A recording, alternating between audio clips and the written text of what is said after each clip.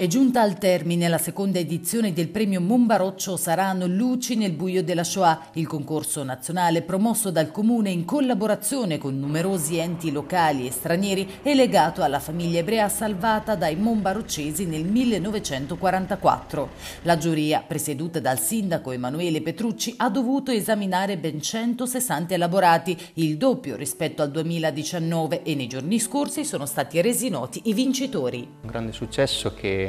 premia i ragazzi, in particolare in periodi come questi, dove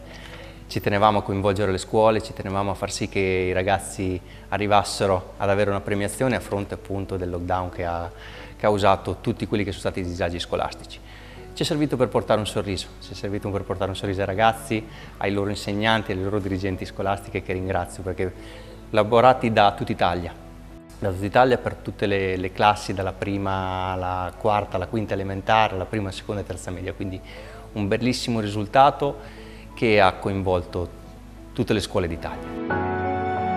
Diversi sono gli istituti della provincia di Pesaro Urbino saliti sul podio per le varie sezioni in gara. Il montepremi complessivo è di 1500 euro, oltre a diversi buoni per acquistare libri. Bellissimo risultato che non ci aspettavamo, ma non era una questione di di parte, veramente bellissimi elaborati che hanno portato, ci tengo a citarli, alla, alla scuola primaria Elio Tonelli di Catabrighe, che ha vinto il primo premio per quanto riguarda il percorso letterario, e ha vinto il liceo linguistico Mamiani di Pesaro con la prima B,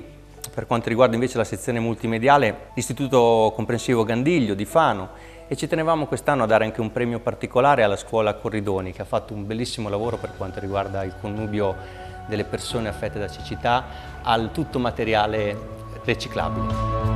La cerimonia di premiazione che era prevista per fine maggio nella chiesa del Beato Sante di Monbaroccio verrà riprogrammata per il mese di ottobre. Intanto il primo cittadino è al lavoro per realizzare un museo della memoria. Prima della fine dell'anno scolastico ci siamo posti questo obiettivo, creare a Monbaroccio un primo museo multimediale dove raccogliere tutti gli elaborati di tutta Italia, di tutte le scuole che da oggi in avanti, anche negli anni successivi, potranno partecipare a, questa,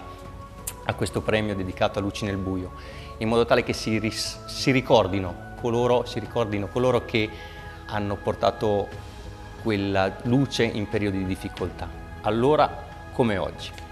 Pertanto l'obiettivo che siamo posti è realizzare dentro Palazzo del Monte un, eh, un museo multimediale e da oggi, tra qualche giorno, partirà la pagina di crowdfunding dedicata all'ottenimento delle risorse che ci serviranno per quell'obiettivo.